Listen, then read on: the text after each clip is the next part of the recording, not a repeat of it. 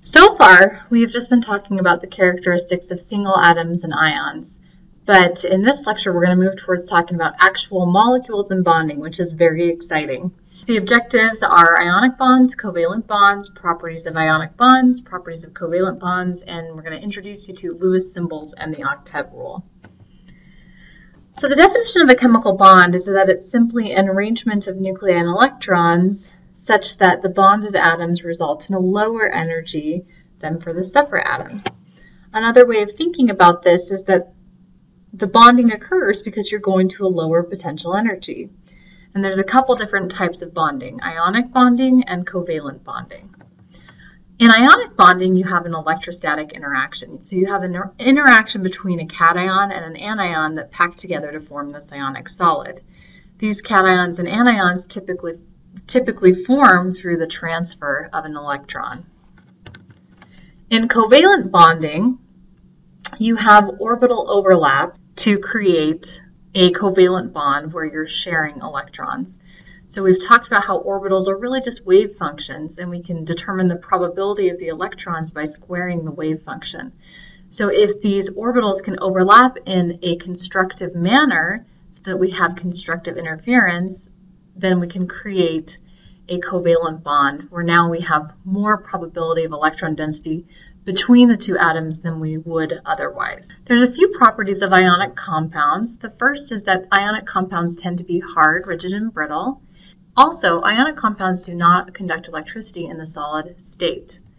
But if they are dissolved or melted, then the ions are free to move and they can carry a current. And this you can measure with a conductivity probe. I also wanted to briefly mention periodic trends of lattice energy.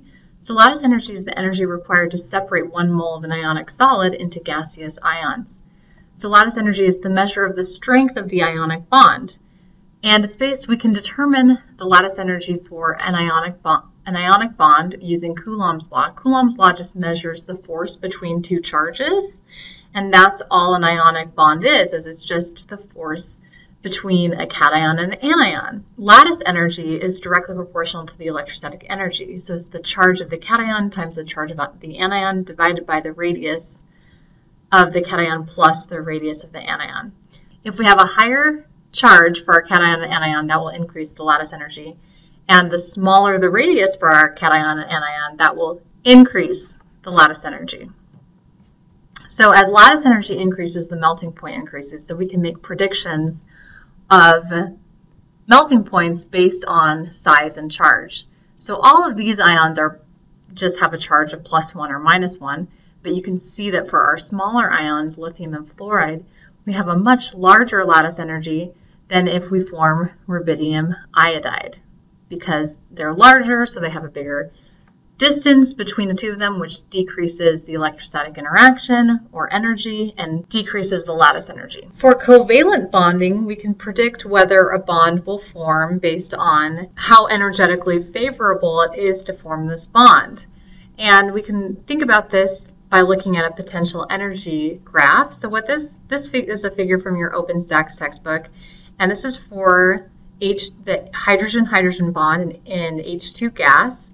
And it shows that when these atoms are really, really far apart, they have this energy that we're going to call zero.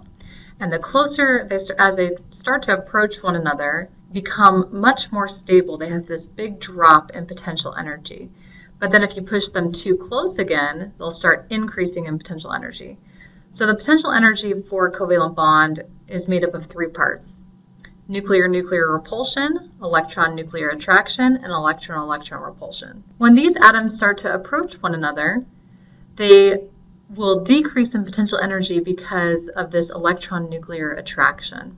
But if you push them too close together, then they'll have some pretty large repulsive forces due to the nuclear-nuclear repulsion and the electron-electron repulsion. But bonding in a covalent bond is not a perfect share of electrons. For two atoms that have the same electronegativity or the same ability to pull negative charge, then the sharing of electrons between these two atoms will be equivalent. If we have one atom that's more electronegative, such as hydrogen and fluorine, we'll have unequal sharing.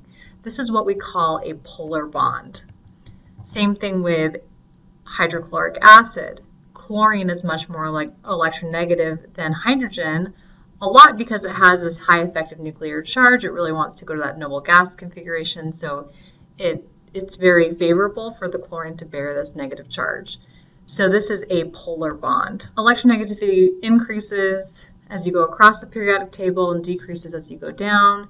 And these are the Pauling electronegativity scales. The Pauling electronegativity scale in, factors in both electron affinity and ionization energy. And you can see that fluorine is the most electronegative atom. Oxygen, sulfur, and chlorine are also very electronegative. So if there's zero difference in electronegativity between atoms, then we say that this is a purely covalent bond. If there is a intermediate difference between electronegativity, then we say this is a polar covalent bond. So we say it's covalent bond if the electronegativity difference is less than 0.4. It's a polar covalent bond if it's between 0.4 and 1.8. And it's an ionic bond if there's a very large electronegativity difference. So if you have a bond between sodium and chloride, you can see that 3.0 minus 0.9 is a difference of 2.1. So sodium chloride is going to be an ionic bond rather than a covalent bond.